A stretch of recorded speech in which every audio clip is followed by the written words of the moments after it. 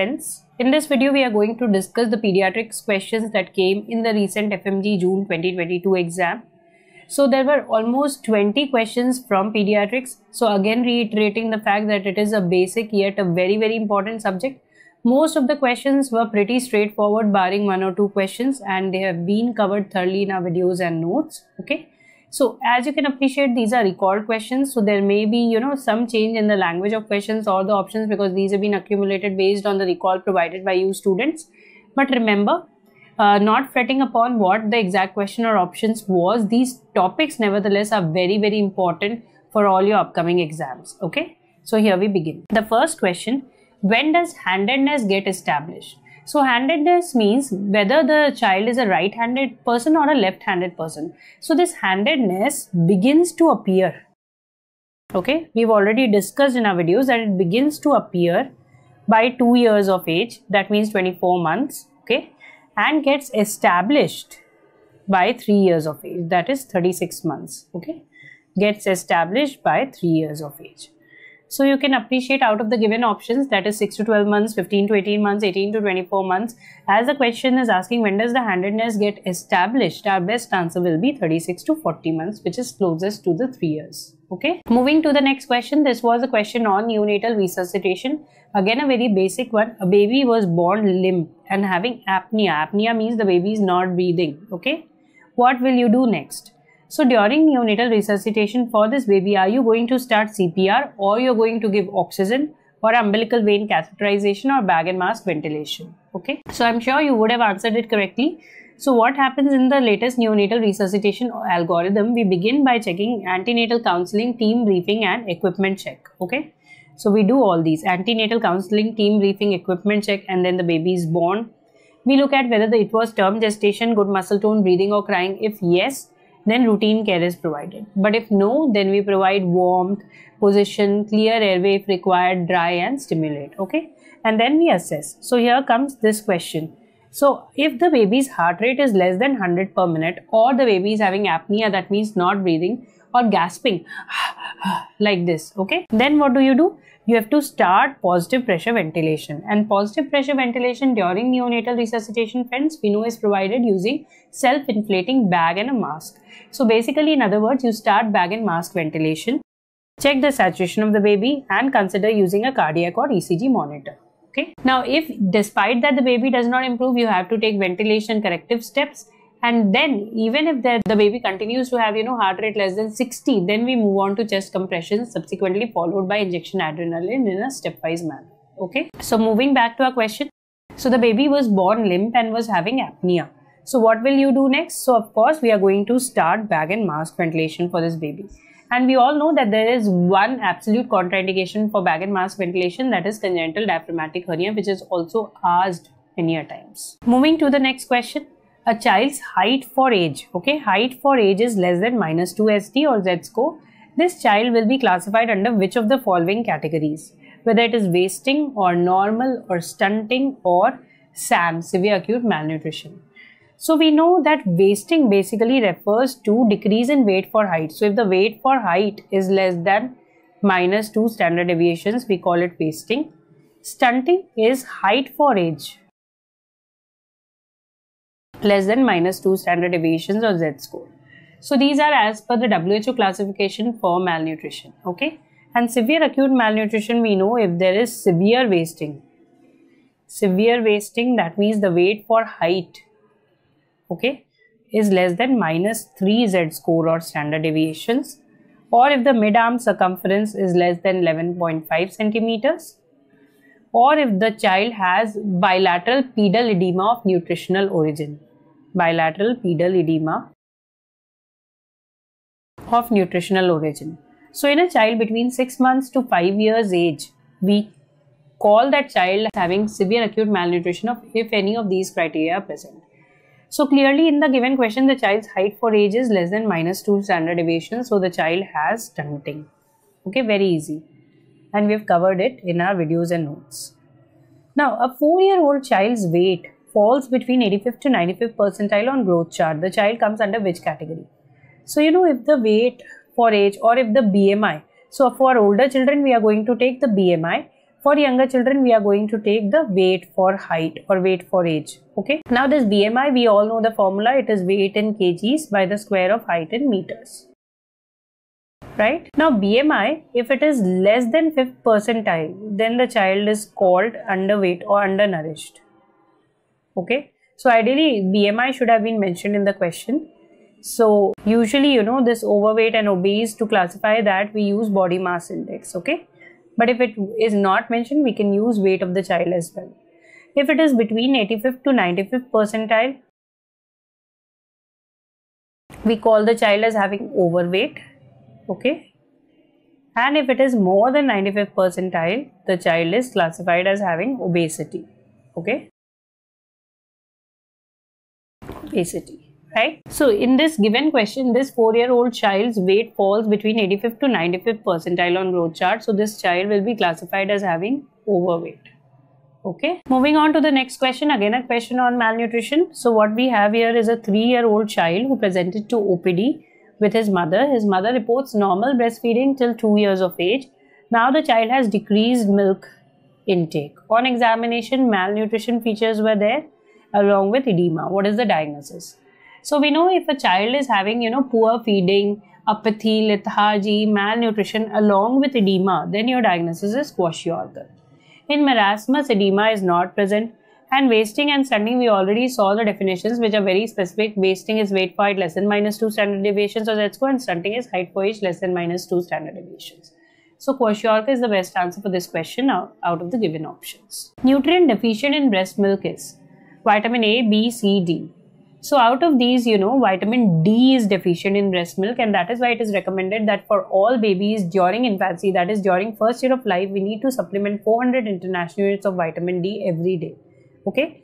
Now remember both vitamin D and vitamin K are deficient in breast milk. So if both are present as options, then you can either choose the option which has both vitamin D and vitamin K or you know you can choose vitamin D over vitamin K.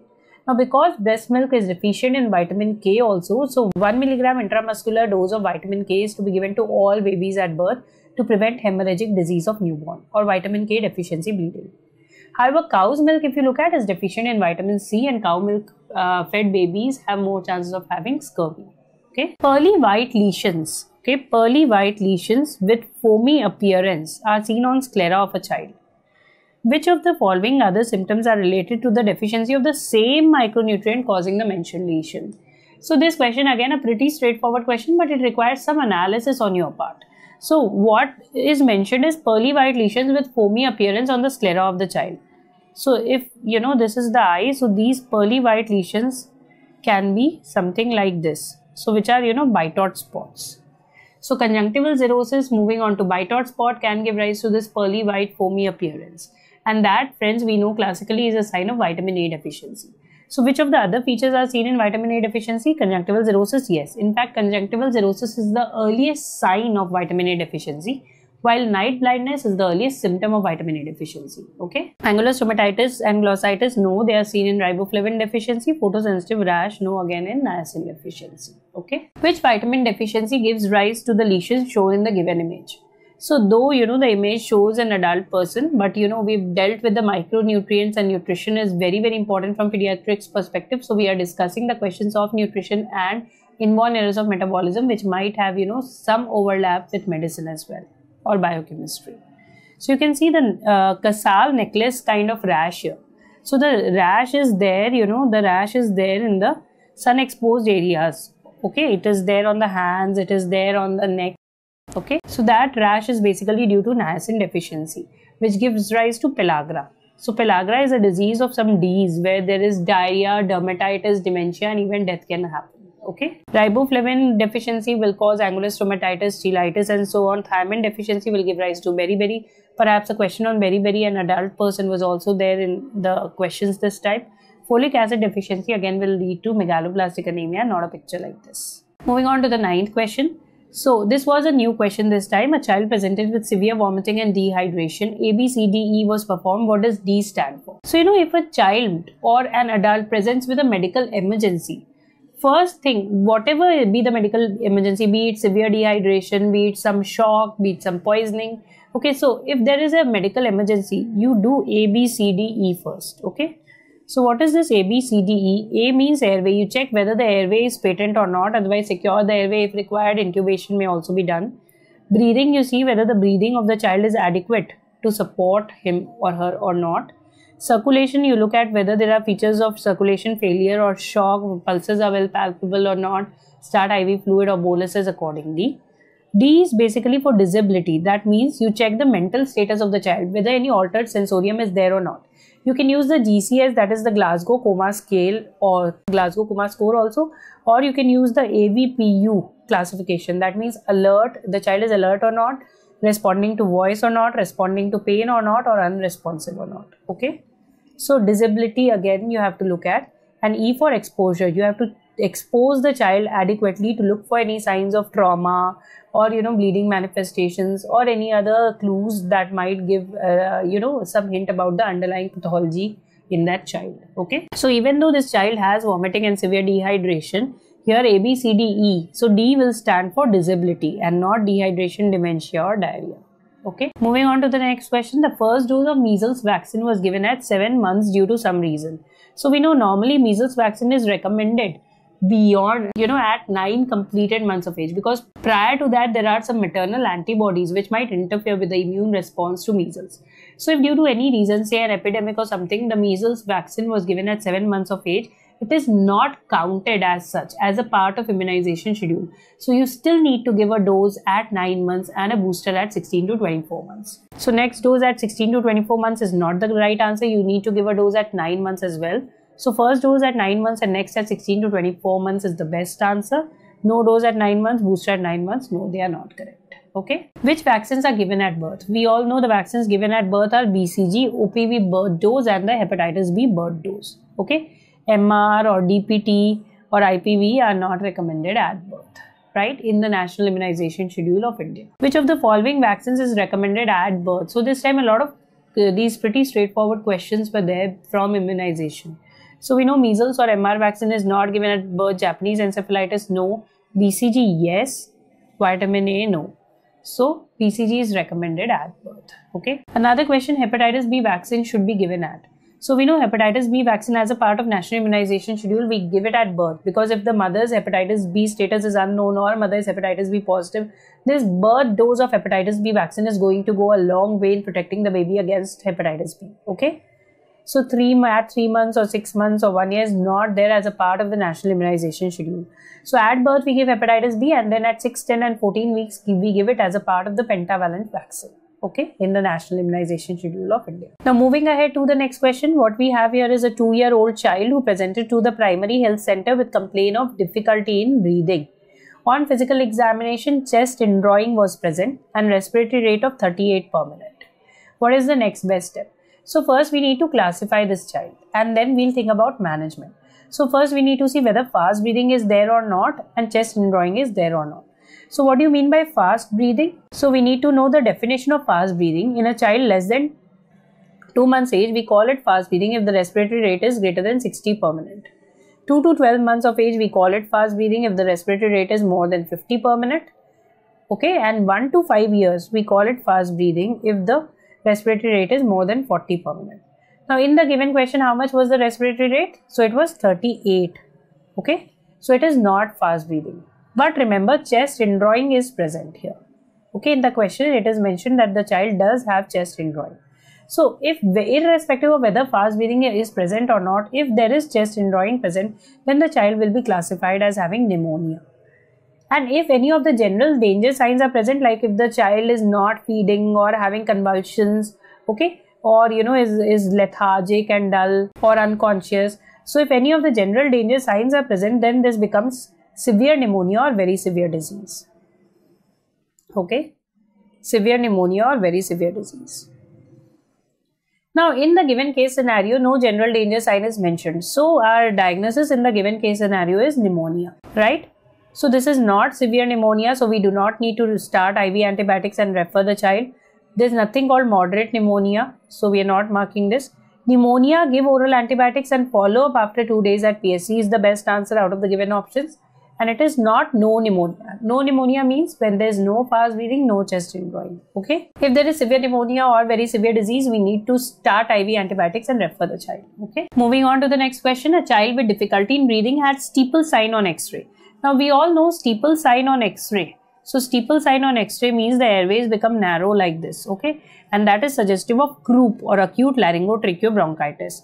Now, the treatment of choice for croup we know is apart from oxygen and respiratory support, you need to give steroids. Single dose oral or in, uh, intramuscular steroids, dexamethasone is usually preferred. So, single dose steroids and in moderate to severe cases, nebulized epinephrine may be given. Now, because croup is a viral illness, there is no role of antibiotics. We have discussed this very well in our videos, okay, on respiratory system. So antibiotic with steroid and oxygen, we need not give antibiotic here because it is a case of croup, which is a viral condition. Oral steroid, yes, that seems to be a plausible option. Again, antibiotic cough suppressant with decongestant, no. Reassure the patient, no. Okay. So, uh, oral steroid is the best answer of the given options. Which is the most common seizure found in the age group of less than 2 years?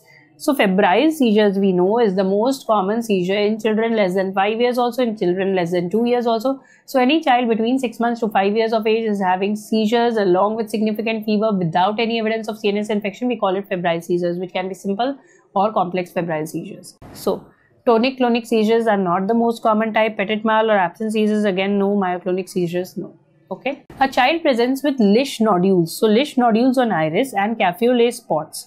So both these are suggestive of neurofibromatosis, a neurocutaneous condition, neurofibromatosis, where you can also get axillary freckling, similar history in the relatives. You can get neurofibromas or some CNS tumors can also be there. Okay. Similar symptoms are seen in his father and grandmother. So you can see it looks like a autosomal dominant condition because the parents of the child and the parents of the parents that is the grandparent is also having this these problems so what is the mode of transmission of this condition okay so mode of transmission of this condition is autosomal dominant. We all know for neurofibromatosis. Okay. Which of the following is true regarding the inheritance of neural tube defects? So neural tube defects we know do not follow any particular inheritance pattern because they have a multifactorial inheritance. Okay.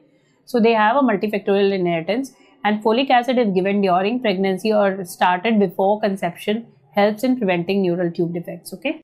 So it does not have any of those Mendelian patterns of inheritance. It is multifactorial. A baby was born and with neural tube defects. Some people said it was anencephaly, the condition.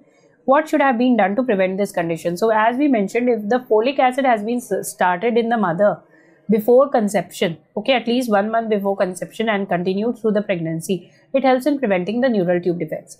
What is very, very important again is the dose of folic acid. So it should be 400 microgram, at least 400 microgram per day it is actually recommended in all girls of childbearing age.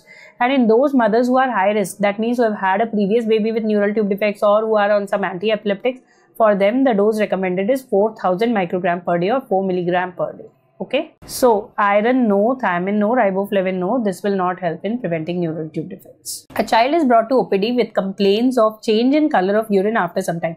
So there was a mixed school of opinion. Some uh, students mentioned that this was probably an adult who presented with complaint of change in color of urine on standing. Okay. Mother gives a history that she noticed a dark black color on diapers when her baby was few months old. So anyways, uh, whether it is an adult, whether it is a child, inborn error of metabolism, we've already discussed. Okay, so this uh, person is uh, suffering from a disease called alkaptonuria, where the urine turns black on standing and in adulthood you can get ochronosis, that means pigmentation on the sclera of the eye, on the ear cartilage, and some cardiac valve involvement, arthritis, and all can also be there. In children, the only complaint will be that the urine turns black on standing. Okay. So, alkaptonuria is a disease we know where there is deficiency of the enzyme homogentisic acid oxidase, and we've discussed it already. Phenylalanine hydroxylase is deficient in a disease called phenylketonuria. Tyrosine aminotransferase and 4-hydroxyphenylpyruvate dioxygenase are deficient in tyrosinemia. So the best answer to this question is homogentisic acid oxidase. Okay. So friends, these were the uh, 20 questions that I could get recalled from you students from pediatrics. I'm sure there'll be many more. So I hope you have answered these questions correctly and go through these important topics. They will remain important for your upcoming exams as well. All the best. Okay. Keep working hard and you will surely get whatever you want. Thank you.